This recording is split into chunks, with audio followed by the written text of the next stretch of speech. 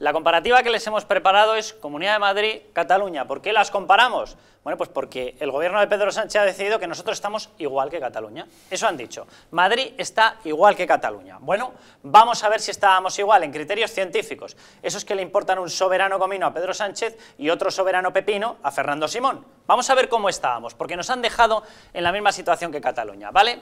Eh, datos al día del examen. ¿Vale? No estamos haciendo medias, no estamos cogiendo un bagaje de X días, hay algunos datos que sí, pero es todo lo que se examinó ese día, lo que ellos científicamente deberían haber visto. Bueno, contagios de ese día, el día del examen, confirmados por test PCR. La Comunidad de Madrid, 49. Atención a Cataluña, 151, el triple. Nosotros 49, Cataluña 151. Respuesta de los científicos, Pedro Sánchez a la cabeza, doctor Fake, ¿qué es lo que dijo? Estamos iguales. Ah, pues menos mal. Tasa de incremento de contagios, 0,07. Esta es la que tenía la Comunidad de Madrid. Tasa de incremento de contagios de Cataluña, 0,27, con dos narices. Respuesta de los científicos, 0,07 es igual que 0,27. Parece de barrio sésamo, no, no, pero es que de barrio sésamo es el gobierno que tenemos. Vamos a continuar. Tasa de incremento media de España, para poder compararla, era 0,24, es decir, Madrid con 0,07 estaba años luz de la media, de la media nacional. ¿Cómo estaba Cataluña? Por encima de la media nacional. No, respuesta de Pedro Sánchez y Fernando Simón, están ustedes iguales. Incidencia acumulada por 100.000 habitantes en los últimos 14 días, 38,18, 44,85. Los de Barrio Sésamo que dijeron, están ustedes igual. Del 8 al 15 de mayo, datos tomados en ese periodo. Tasa de nuevos ingresos en UCI, en las unidades de cuidados intensivos. Bueno, Cataluña ha tenido, agárrense, un 78,7% más de nuevos UCIs de los que ha tenido Madrid. Respuesta de Fernando Simón y de Pedro Sánchez, de Totó y Fofó, están ustedes iguales. Menos mal.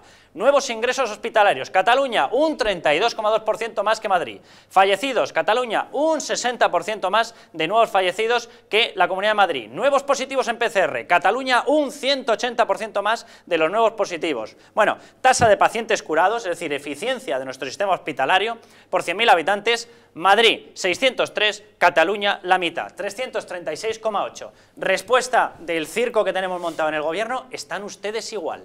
Yo, miren, de verdad, yo ya no sé cómo explicarlo. O sea, hay veces que ya te frustras, ya dices, chico, yo, ¿será que yo me echo muy de derecha? Puede ser, ya les voy adelantando que cada día más. Ahora, dicho eso, ¿de verdad esto tiene un pase? ¿De verdad esto tiene un pase? ¿A esto alguien le puede llamar ciencia? ¿A esto le puede llamar neutralidad? ¿A esto le pueden llamar técnicos? ¿A esto le pueden llamar comité científico? ¿Pero qué comité científico? O sea, para empezar, un comunista y la ciencia, esto casa mal, ¿verdad? Un comunista y la verdad casa muy mal esta historia. Pero esto, esto es literalmente la historia de una discriminación porque les da la gana. ¿Y saben por qué? Porque Cataluña, comandada por separatistas, ha pactado que Madrid no puede pasar a la fase 1. Porque si Madrid pasa a la fase 1, lo primero que ocurre es que las empresas que quieran permanecer en un territorio normal, donde se respete la ley, no en un territorio sectario, en un territorio ideológico, deciden pasarse a Madrid. ¿Saben por qué? Porque en Madrid se puede ser libre. Punto. Te dedicas a lo que te dedicas, te dedicas a trabajar. No a estar mirando a ver cómo un, nazi separatista te va persiguiendo, te echa silicón en una puerta por decir que eres español. Bueno, pues como las empresas valoran este tipo de cosas, el poder estar en paz, tranquilo y generar riqueza, pues resulta que se vendrían aquí. ¿Y qué es lo que han pactado? Que nos tienen que laminar que tienen que fastidiarlo. ¿Y qué es lo que dicen los comunistas? Encantados. Porque si tú gripas la economía de Madrid, estás gripando la economía de España y viven soñando con que las grandes empresas, las pequeñas también, pero a ellos lo que les gustan son las grandes, que es donde te puedes enchufar y donde puedes sacar dinero, donde puedes meter mano, donde puedes hacer corruptelas potentes, quieren que estén en una situación tan pobre, tan lamentable, que las puedan expropiar y nacionalizar. Ese es su sueño. Esto no me lo estoy inventando de verdad. Métanse ustedes en YouTube y comprueben todas las veces que Pablo Iglesias ha dicho que quieren nacionalizar los sectores estratégicos. Yo sé que esto queda muy bonito, nacionalizar sector estratégico. No, llámenlo por su nombre, expropiar. Es lo que a ellos les mola.